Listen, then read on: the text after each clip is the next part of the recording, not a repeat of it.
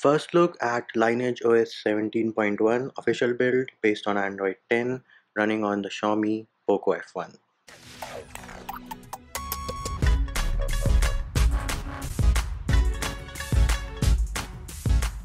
Hey peeps, what's up? Munchy here, back with another video and in this video we're going to have our first look at the official Lineage OS 17.1 build based on Android 10 running on the Xiaomi Poco F1.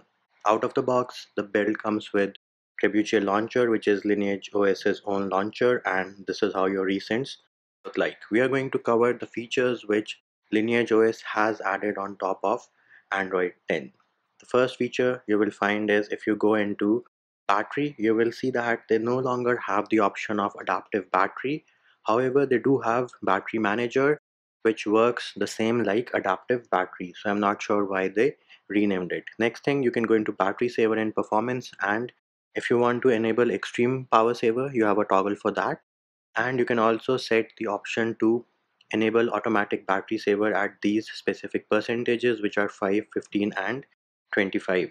Next up you'll find the new feature in display. So once you're in display you will have an option called live display which lets you customize your color profile between three different options dynamic standard and sRGB then you also have a toggle for reading mode which converts your display into grayscale mode which is easier on the eyes for reading and also increases your battery life. Then you have color calibration so you can configure your RGBs using the sliders and in case you screw up you can use the reset button to reset the calibration. You can also configure your hue saturation intensity and contrast using the picture adjustment option and again if you screw up use the reset button to reset back to default. Then we can go into styles and wallpapers and this is where you have android 10 theming in the building. You have one default theme but you can always add your own custom theme if you want to. Go into clock and you have three different options default bubble and analog. Into grid you can change the number of icons you see on the home screen. So you have 3 by 3 4 by 5 and 5 by 5 and then into wallpaper. You do have some pretty nice wallpapers baked in by the lineage os team. And my personal favorite is the red one because red is my favorite color. Then you also have the option of rotation settings. Herein you can determine what are the different angles at which you want auto rotate screen. So you enable that toggle and then you can choose between 0 degrees 90 degrees 180 degrees and 270 degrees. Then we have full screen apps. So this is going to force legacy apps to use the full screen aspect ratio in case you have any applications which are not using the full screen as in they're not using the notch area. You can enable the toggle in full screen apps. Next up, if you go into lock screen display, you do have the option of ambient display wherein you can enable your pickup toggle, hand wave and pocket toggles. All these options are working absolutely fine and they have also added double tap to wake anywhere on the lock screen to wake the device double tap on the status bar or the lock screen to turn off the display wake your device when a charger is plugged and prevent accidental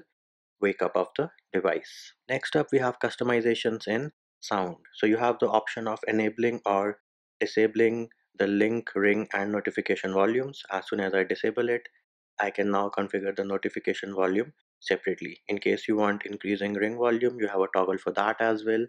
And once you enable this toggle, you can configure your start volume and your ramp up time. Next up in privacy, they have a different dashboard. Once you're in privacy, you can click see all in dashboard and it is going to show you the most recent access in the last 24 hours. So you have Google Play services, you have Google, you have system UI, tap on the arrow and then you can go into settings and configure your permissions for system UI. If you click on the three dot menu on the top right, you can say sort by time, filter by permissions, filter by time, go into advanced settings, and then you also have the toggles to enable the assist trigger detection and show system app usage of permissions in the status bar once you enable this toggle. So this is all about the customizations which you get in privacy. Another thing which I missed in privacy is trust. So here you can see your SE Linux status. For me, it is enforcing right now. Your Android security patches, encryption for me is disabled. In case you want to restrict the new USB gadgets when the device is locked, this is a pretty nifty feature when it comes to security then if you want to see lineage os statistics and if you want to limit the number of sms messages an application can send in a minute and if you want security alerts when your say SE Linux status has changed or if your build signature has changed. In my opinion, these are pretty good security features from Lineage OS. Next up, we have system. In system, we can go into buttons. You can enable the toggle to show the arrows while typing. Next, in case you want to invert the layout of the navigation bar. So right now, back button is here. Enable the toggle, back button shifted. So that is invert layout. Then you can configure your long press actions for the home button, your home button double tap action, and your recent long press action. Then you have customization for the power menu. You can choose what all options you want to see in the power menu using the buttons over there. Then if you want to use the power button to end the call, if you want to long press the power button to enable the torch, you have a toggle for that. And once you enable this toggle, you can configure after how many minutes you want to turn the torch off automatically. Then you have customization for the volume rockers. So if you want to use the volume buttons to wake your device, you have a toggle for that. A toggle to use the volume buttons to answer an incoming call. Control the playback of music by long pressing the volume buttons, keyboard cursor control using the volume rockers. If you want to reorient the volume buttons when the screen is rotated and for OnePlus devices, if you want to see the panel or the volume panel on the left, you have a toggle for that as well. And bam, there it is. Volume panel was on the left and it is back on the right hand side.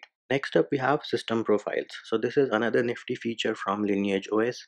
You have three different profile options and let's say you want to customize it so you click on the gear icon beside the name and you can of course change the name if you want and let's say we go into Wi-Fi so on disconnect I have configured that once my Wi-Fi is disconnected it will automatically go over to the automobile profile so this is all about system profiles then you have customizations for your status bar right now quick pull down is off I can pull down from the right nothing will happen let's change it to right and bam the quick setting tiles are expanded. Then what all icons you want to see in your status bar, you have toggles for all these options.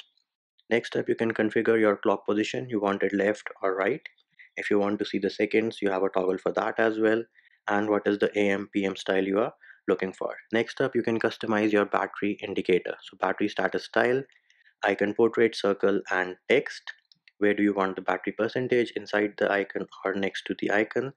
and you can also add a brightness slider to the quick settings if you want auto brightness you have a toggle for that and you can also configure your brightness by sliding across the status bar next up we have gestures so you can choose between different kind of gestures three different options. The old school three button navigation android 9.0 pie 2 button navigation and if you want to use android 10 gestures you have an option for that as well. Click on the settings and you can configure your back button sensitivity. You do not have options to hide this bar at the bottom. So there it is peeps. Those are the different options or the customizations which we get with lineage os 17.1 running on the xiaomi poco f1 as for the benchmark scores these are the benchmark scores which i got on this build. But as i always say enjoy the rom. Benchmark scores are just numbers and that will do it for this video. Hope my video helped you. Likes shares and subscribes are appreciated. Feedback and comment more than welcome. See you when i see you